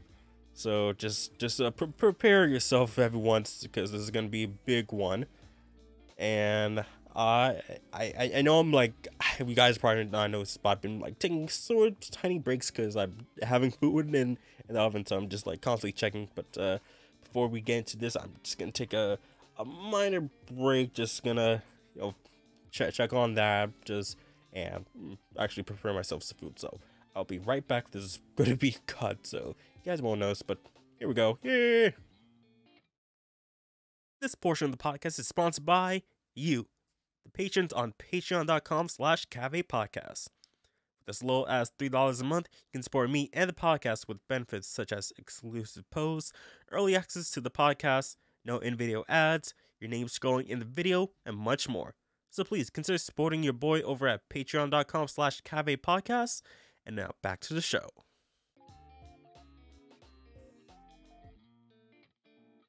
All right, we are back. It took a while. I'm not gonna lie. So, I was trying to make uh, this pork tenderloin that my dad gave gave, gave to me. He's just like, okay, I'll, I'll finally try try try to make this. Yeah, that that, that was nasty. I think just like the flavoring that that was like given. I think was like like some golden rotisserie or something along like that. Like, nah. it's either the flavoring it was off or the way I prepared it was off. One of those two was the issue. I didn't like that. Maybe next time I'll try a different way of preparing it, or just you know. But uh, overall, like, yeah, I I, I, I kind of have to like like toss it because it, like it, it did not taste good. It, it didn't taste good at all. just like like first bite was all right, but as soon as you like start chewing it, it was just like, yeah, no, no, it, that, that that that that doesn't taste good at all. So, yeah. But uh, anyway, so let's get back to this to our final article. This is this is gonna be a lengthy one. This is the of course the in-depth developer interview about gameplay changes and KBP3's uniqueness. So, 4Gamer has published an interview uh, with Reload's develop- development staff, director uh, Takuya Yamaguchi, general producer Wada, and uh, producer Niitsuma. So, this is a similar interview, but uh, with some new, similar uh, interview like uh, Famitsu, but with some tip- new tidbits of information. Alright, so firstly, uh, police association with Reload. So, we know that many people want a remake. This has reached us in many ways, including the survey, which people should do, uh, that Atlus conducts each year. It's always been the top of top titles that people would like to see remade. It also it was also an important project for us on the development side, and something we couldn't start half-heartedly. The idea has been around for quite some time. However, development did not progress until the later half of 2019. What was after the release of Persona 5 Royal on PS4? or was it after the release of P5R?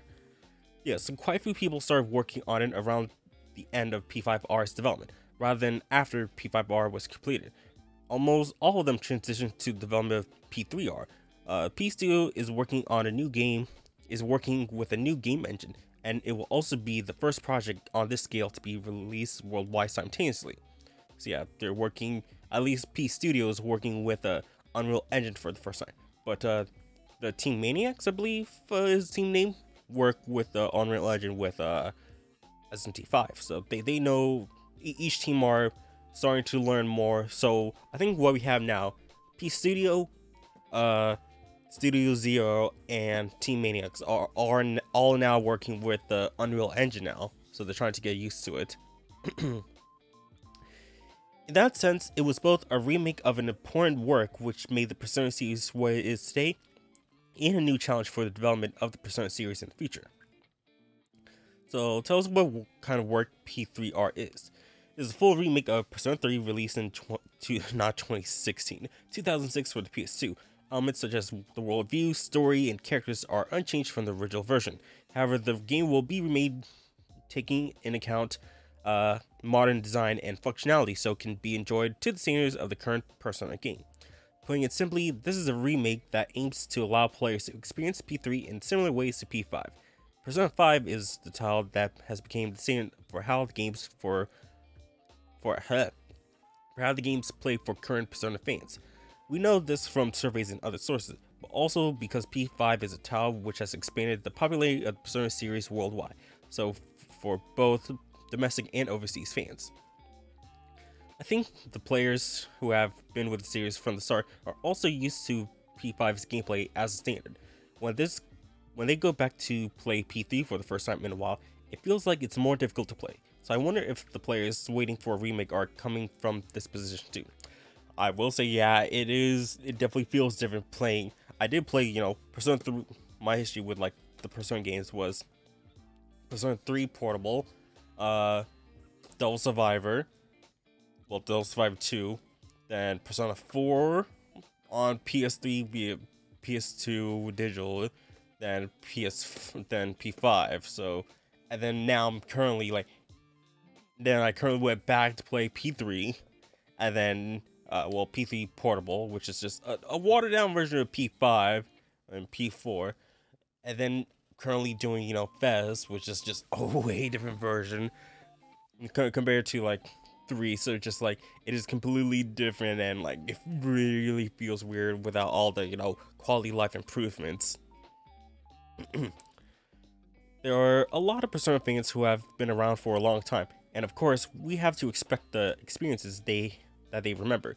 But, however, as Yamaguchi said earlier, I thought that we could attain this by not changing the worldview, story, and character elements. And you know, I I I, do want to you know like give them props for like yeah well, when we remake this game, we're gonna try to be faithful, you know. And now I'm just just gonna be like yeah we're gonna change how you know the characters are, you know, because you know it's a remake. We can do that, but no, like like there are some remakes out there where they're just like completely change how some characters are, how they act, just like, oh, we because we can, you know. uh, for the aspects that have been remade, what exactly has changed? Firstly, the easiest to understand is the physical health system. It was part of what made the original P3 unique, but is also removed into subsequent titles.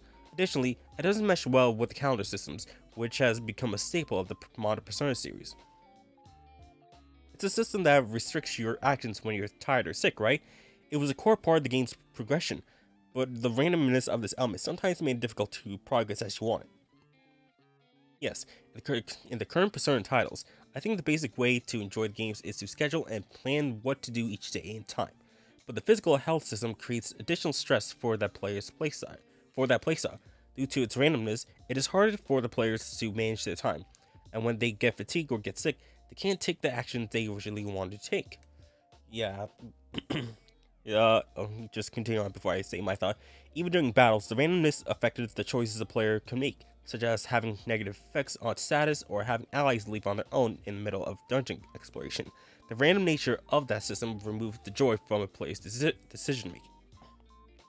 Now, I, I do, I will say that, uh, you know, the, the, the sickness system does make P3 unique to compared to 4 and 5.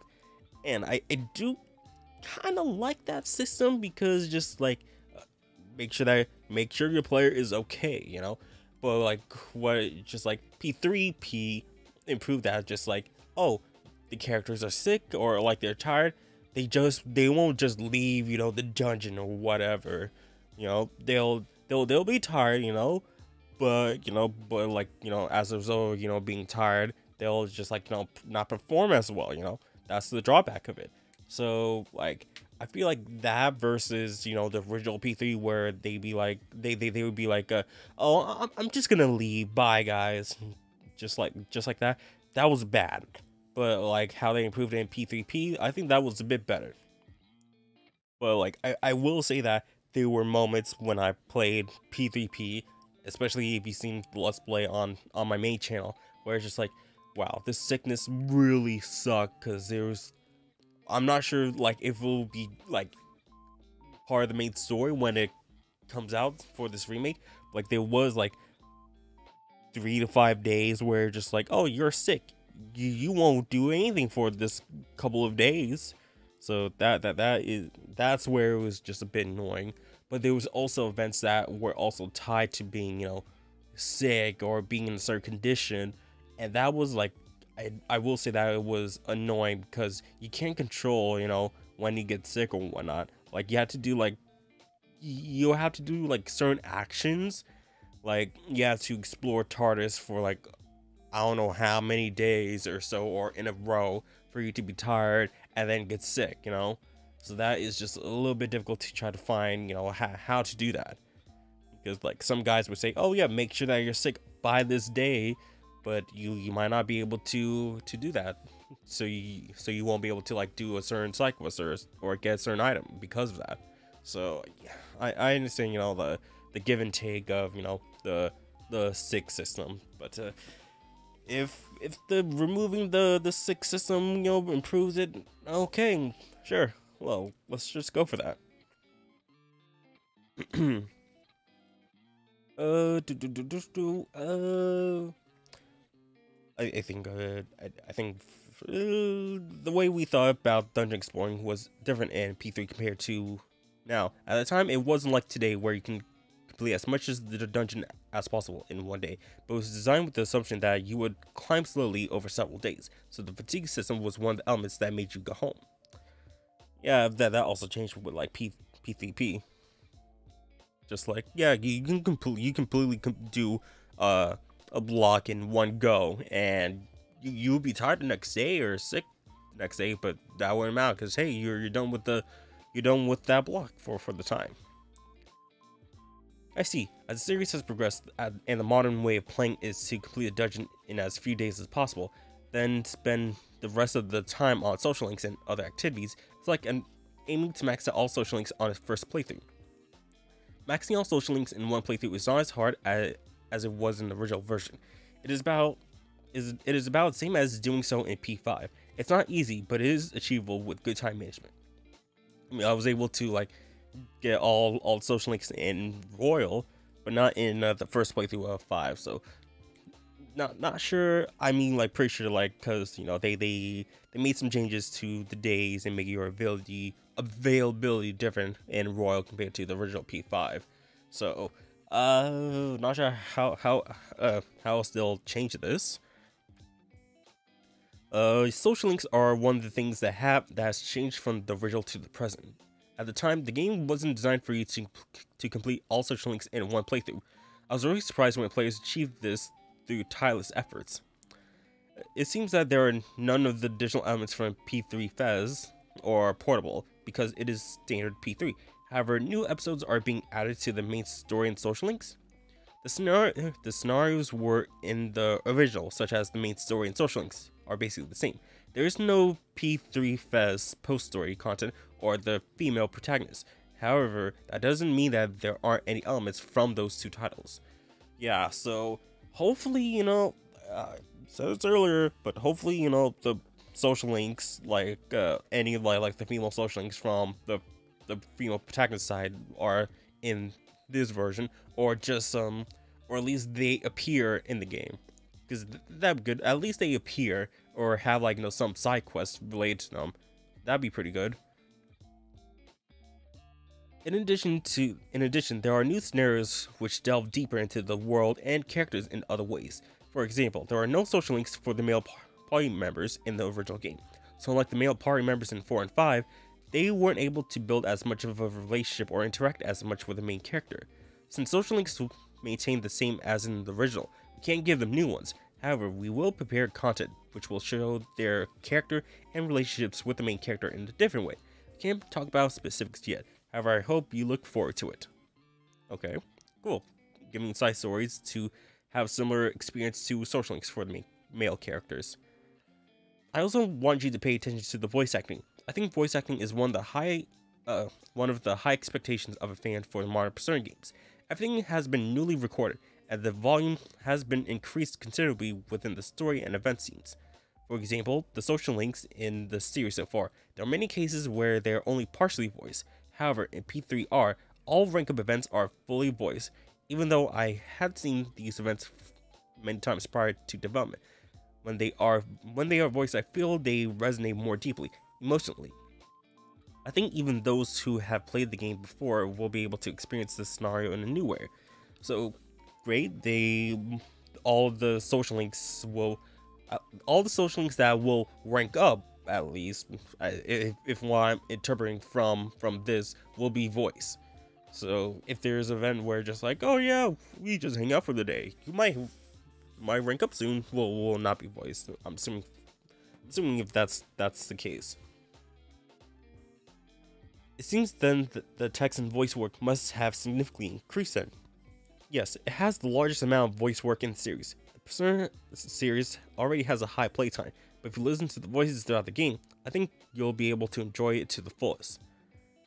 So, more English voice acting, yay! I'd like to know about the dungeon explorations battles. First, what's changed with Tartarus. It's a dungeon with over 250 floors, each random, randomly generated every time you enter, and it's directly connected to the game's world and story. However, the scenery doesn't change much, and progression tends to be monotonous. I wonder how this was tackled when creating the remake. It was the first thing that came up for a point for improvement when starting on the remake, and it was something which was uh, which had a lot of discussion about. Of course, we were aware of what the fans felt. As you said, however, Tartarus is closely tied to the world and story, so we couldn't change the structure of the dungeon. That's right, it, while, while it became monotonous, part of the appeal of P3 is the sense of emptiness as you gradually ascend Tartarus during the gloomy dark hour. Was hard to reconstruct it while preserving this atmosphere? Yes. For example, we couldn't create a fixed dungeon like in P5 with this various gimmick by reducing the number of floors, so while staying faithful to the original, we create a dungeon which can be enjoyed without getting bored by adding numerous small elements. One example is conversation between allies. At regular intervals, there's regular dialogue that can be heard in the dungeons. Additionally, objects which can be destroyed and background movements have been added. These minor interactive elements and visual changes may seem insignificant, but they greatly make the gameplay feel more engaging and prevent it from being tedious. Tartarus had been improved thanks to the expressive power of the Unreal Engine. We were able to faithfully adapt Tartarus into a three-dimensional widescreen format while capturing the essence of the original, but with a lot of variety. It is quite hard to convey with screenshots, but with the use of various lighting effects, visuals create an immersive experience, uh, preventing it from being monotonous. The character models and animation have also changed quite a bit from the original. There have been a there's been a change in expression and direction due to the change in head and body proportions. When compared to the original, the balance between stylish and comical will feel closer to the former. Because of this change away from the deformed models, it is harder to express the characters performing certain actions like falling on their butts during battle. But as cool as the and comical aspect is to P3, make sure to keep the aspects of it. Yeah, I mean, it, it, does show, but like I, am not sure like how to get like oh it, it's it's hard to express it like I mean even if it's not like full on like you know like it's not like full mouth movements like you can see like you know the pain expression in their eyes you know like and they, they do some movements like like Junpei like fixes his cap after he like he gets knocked down something like that so uh, I don't know about that. Another element I'm curious about, just like Tartarus, is battle system. Firstly, the player can give direct commands to the party members, right? Also, has AI been improved in this day and age? The player can give direct commands, which has been the standard since P4.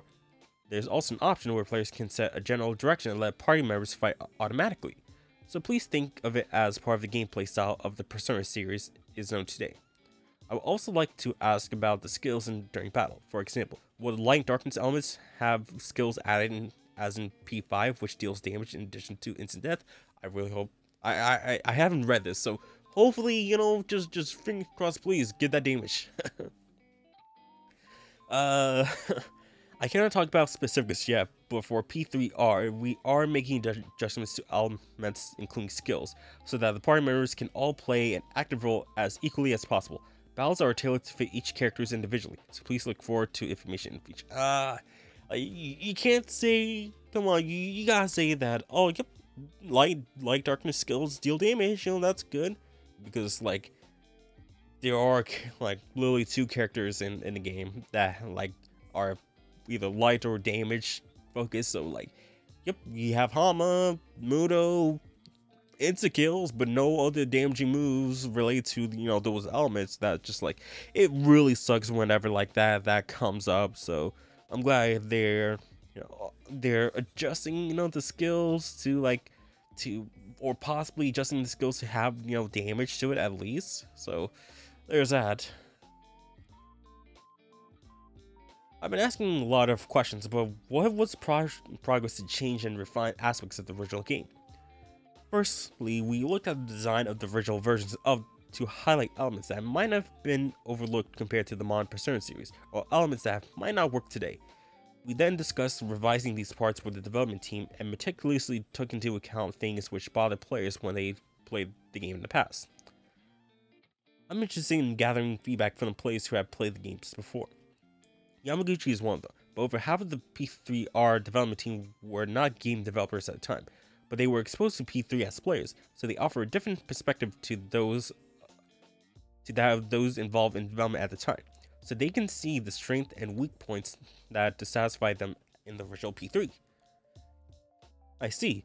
It must have been difficult since fans often have their own idealized image of each Persona games. I imagine it was difficult to consolidate those different differing opinions.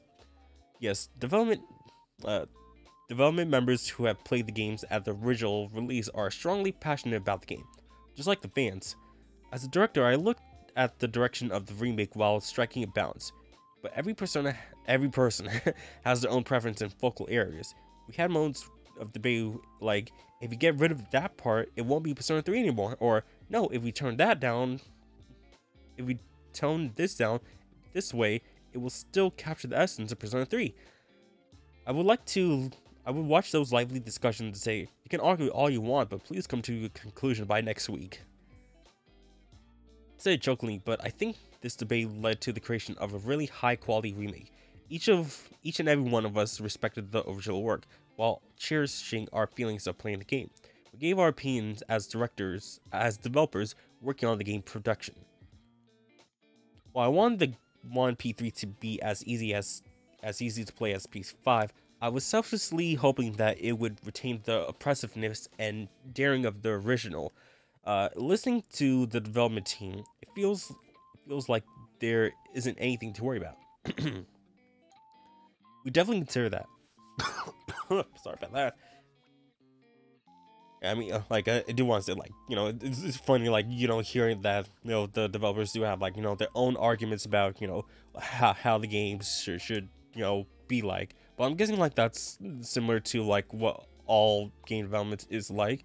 You know, it should be this way, or no, it should be that way, or it should be both, perhaps. Like, no, it can't be both, it has to be one or the others.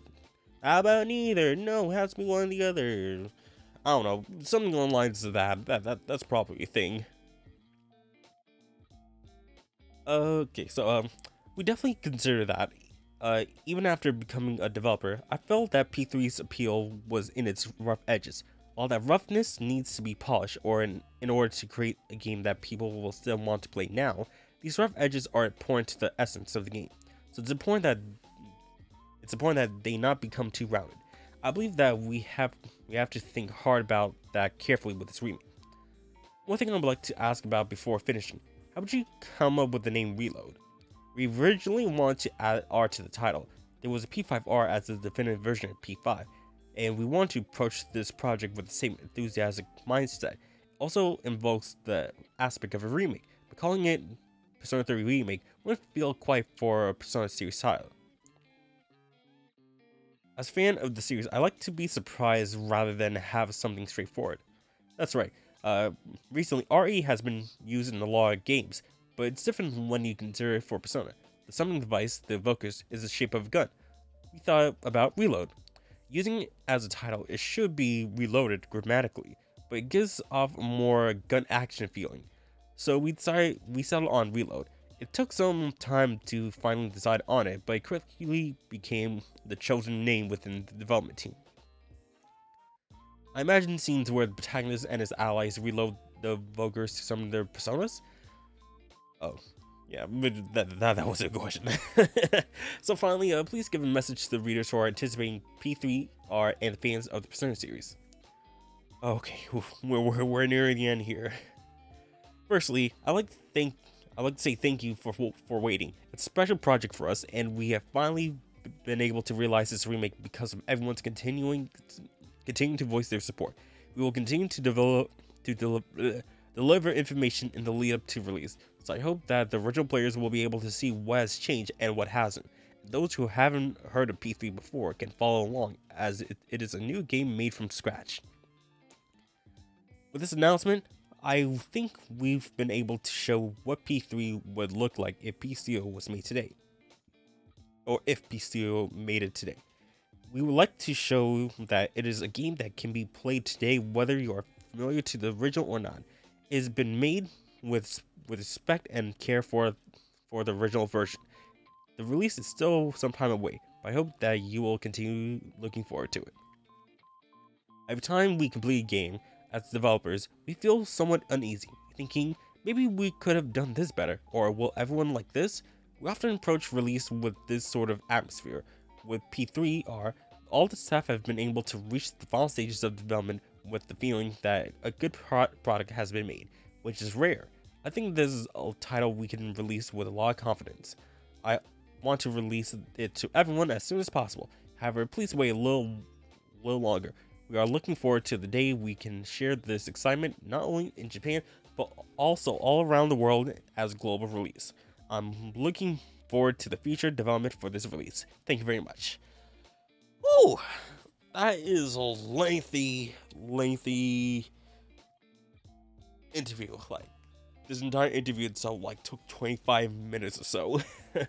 but, you know, glad to see, you know, like I, I, do like, you know, hearing that yeah, there is so much like discussion with like with the staff members, like a bunch of the the team did play the original P3, so they do have insight on like, you know, what should be in the game, what shouldn't be game, what should be improved, what should not be improved, and all that stuff. So like glad glad to you know hear about that. It's not like oh yeah I, I part of this re like I'm I mean I'm sure there are like some employees that are like oh I'm part of, part of this you know team but like I never played the original like I I I'm pretty sure that's some something but like uh, some of the uh staff like you know it, it would like really suck if there was like you know like uh like uh like it's a part of team where just like yeah, I don't know anything about the original original game, and I don't really care. This is our new, you know, uh, take on, on the game or something like that, and it'll be like completely different from the original.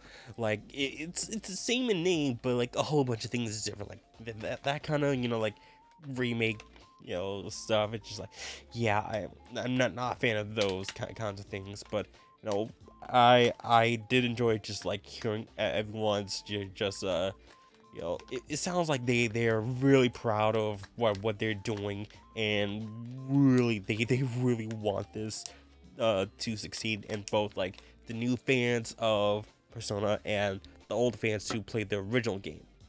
Or at least some version of Persona 3 so yeah that that is very nice and and hear, hearing from all of them that that like it, it does you know warm my heart just a just a tad bit. It's it's pretty great, pretty great.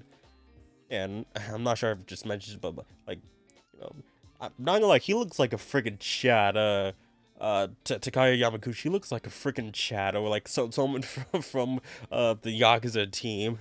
Just like but yeah, and then got Wada and then Niitsuma. So yeah, thank you guys for, you know, being you know, making this game, you know, and you guys and your dedication to like you know, try try to make this game, you know, as good as possible for both like newcomers and uh old fans of you know either P3 or just the series in general. That that that's really great and you know, and I'm glad that they they're constantly you know um. I mean, like at least with, with like some of the interviews, they're like they're saying like, "Yep, we're taking we're taking you know uh, uh, you know the the result of the surveys and make it you know as part of you know like as uh well what's word uh in consideration as you know like what games we make this is like keep on saying this like do the surveys whenever they they come out, whether it's English or in another or in Japanese. You know, like I'm not sure if you're able to do it twice, but hey, do it twice because like if like one Japanese, one in English, or what, whichever, just like just so you know, you the voice can be heard, and you know, ho- hopefully. Hopefully we can get that Persona 1 or 2 remake because Persona 2 was also number one in terms of remake. So please, please, please do this. But yeah, uh man.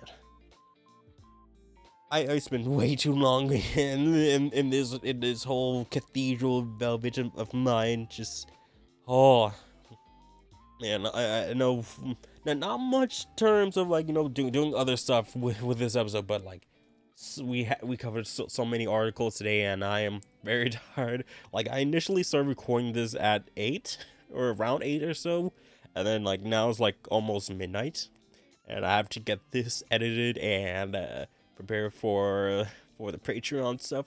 And speaking of Patreon, look at all, all all the awesome Patreon members right now, cause you guys, if you guys are part of the Patreon, you guys can get a shout out, you know, scrolling on screen right now. So if guys, you know, uh, if you guys want to spare a few bucks, you can get your names on here. You can also get this, uh, uh, you know, get this series ad free well in, in video no in video ads so that is you know one way of supporting so yeah i i i can't stop you know youtube putting ads on videos so like at least i can do just like no in video ads because I, I any support with those ads will be great but like hey if you guys supporting me through patreon you guys you guys don't get get getting of that so yeah But yeah, thank you guys for watching. All these interviews were just like very interesting. All all these were just like giving insight about like how just like these de- Atlus developers are doing things. It, it's it's great. I'm I'm loving it, and I can't wait to you know find out you know some more information as uh as time continues on because we do have that uh Atlus uh concert happening and uh P3T not P3R and P5T uh, panels happening at uh, Anime Expo this weekend. So yeah, hopefully you know some good information comes out from there. But time to wrap up. Uh, thank you guys for watching. Uh, please don't forget to subscribe to this channel if you guys are on YouTube. Uh, and subscribe to my main channel, Power Jusho, because that's where I do all my gameplay videos and stuff. And make sure if you if you're listening on any uh any mobile or uh, streaming services, follow me on there. I'm on Spotify, Apple Podcasts, uh, Google Podcasts, all those, and hopefully gonna try to add more locations uh, later. But th- those are the main. So yeah, thank you guys for watching, and I will see you guys in the next uh, podcast. Later.